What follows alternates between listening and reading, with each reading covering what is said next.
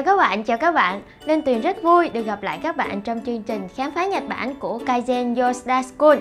Trong khám phá Nhật Bản lần này, chúng ta sẽ cùng tìm hiểu một chủ đề khá là hấp dẫn. Chủ đề lần này đó là wagashi, bánh kẹo truyền thống Nhật Bản. Chắc hẳn sau khi xem video này, các bạn sẽ muốn thưởng thức ngay cho mà xem. Wagashi là tên gọi chung của các món bánh ngọt truyền thống Nhật Bản từ rất lâu đời, thường được làm từ bột nếp, nhân đậu đỏ và các loại hoa quả, được trình bày một cách đẹp mắt và thường sử dụng trong những buổi tiệc trà. Wa có thể hiểu là Nhật Bản, còn gashi là điệp ấm của kashi, mang ý nghĩa là bánh ngọt. Tên gọi wagashi tiếng Hán là hòa quả tử, được đặt dựa theo nguồn gốc cũng như cách trình bày món ăn, có ý nghĩa là vẻ đẹp tự nhiên.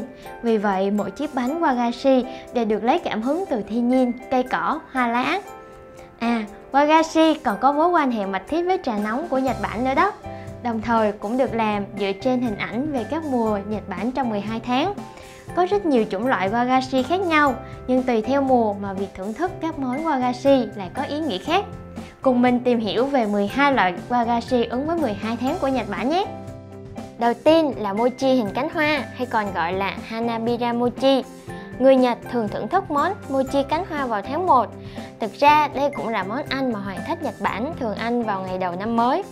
Món mochi cánh hoa này được làm từ gobo, rễ cây ngu bàn, loại cây có rễ đâm dài, sâu và chắc xuống dưới lòng đất, với ngụ ý là sẽ xây dựng một gia đình thật vững chãi và trường thọ.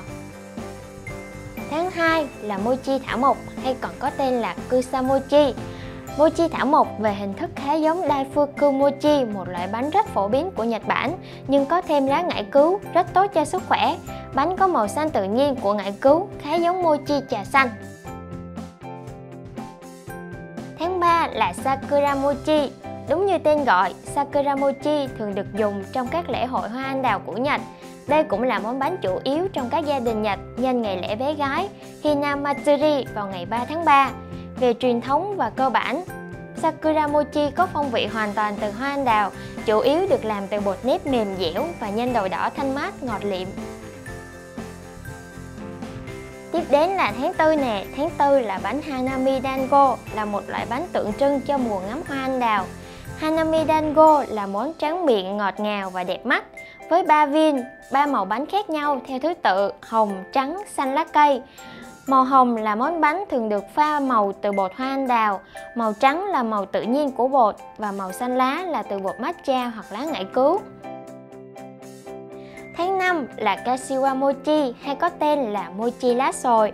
Mochi lá sồi là loại bánh gạo nếp, nhân đậu và được gói trong lá sồi cũng mang ý nghĩa như cây tùng, cây bách, cây sồi tượng trưng cho ý chí vươn lên và sức mạnh, vượt qua khó khăn thử thách của một đấng nam nhi.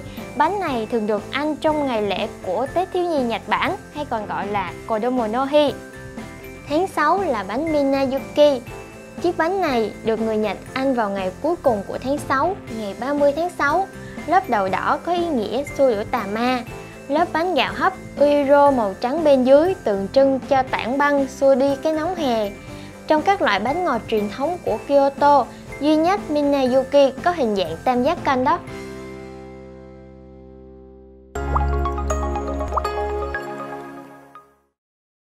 Thưởng thức wagashi không chỉ để no mà còn để thỏa mãn năm giác quan. Với bàn tay khéo léo của những người thợ làm bánh, mỗi chiếc bánh wagashi là một bức tranh tuyệt đẹp mô tả thiên nhiên như lá cây, hoa cỏ, chim thú, mà hồ với những màu sắc thanh nhã đầy sự sáng tạo.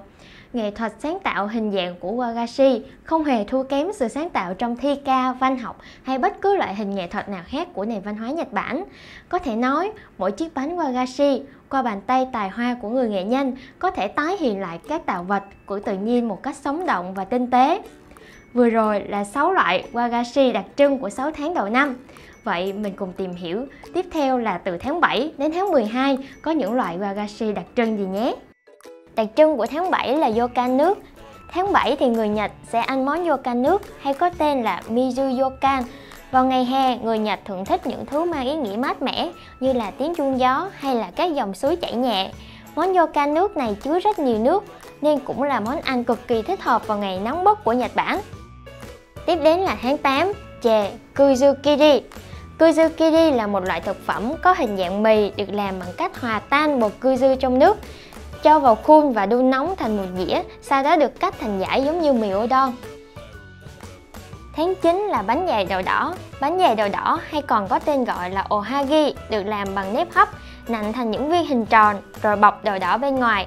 Đây là món bánh được dân cúng cho tổ tiên vào thời điểm thu phân. Kurikinto là loại bánh đặc trưng của tháng 10. Loại bánh này có hai thành phần là đường và hạt dẻ, thậm chí cũng không có nước. Hạt dẻ được luộc chín rồi nghiền với đường. Sau đó họ nắn bằng tay thành hình tròn trong một miếng vải được xoắn ở trên, tạo ra hình thù đặc biệt của curry Kinton. Tháng 11 là bánh Kintsuba. Kintsuba là loại bánh có vỏ bánh là bột mì hòa tan với nước tạo thành bột. Nhân bánh là các viên đậu nhỏ nguyên hạt hoặc được nghiền nhuyễn rồi làm đông lại giống thạch. Bên ngoài vỏ bánh sẽ được phủ dầu vừng rồi nướng lên. Người ta còn sử dụng khoai lang để làm nhân bánh, thay cho hạt đậu truyền thống, tạo thành bánh Kintsuba khoai. Yuyu Manju là loại bánh đặc trưng của tháng 12, tháng cuối cùng trong năm. Vỏ trái thanh yên Yuyu mài ra cho vào bột lúa mì và khoai lang Yamato rồi đem hỗn hợp này hấp chín. Hỗn hợp này sau đó được bọc xung quanh mức đậu tạo thành một cái bánh bao có hình dạng giống như trái thanh yên vậy. Mùi thơm của trái thanh yên nhẹ nhàng tỏa ra từ bánh, kết hợp với tâm trạng thích thú của mùa đông.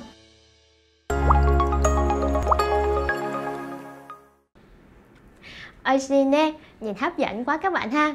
Nếu có dịp, hãy thử qua Wagashi Nhật Bản nhé.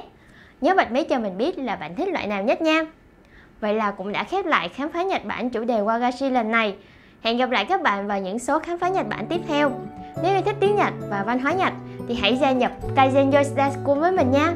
Và đừng quên like, share và subscribe để không bỏ lỡ những chương trình mới nhất. Dạ, matane!